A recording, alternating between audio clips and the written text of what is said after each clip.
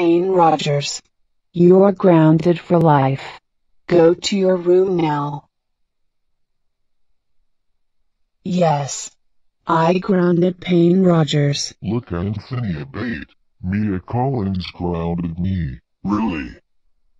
Mia Collins. How dare you ground my friend Payne Rogers? That's it. I'm calling your parents about this. No, no, no, no, no, no, no, no, no, no, no, no, no, no, no.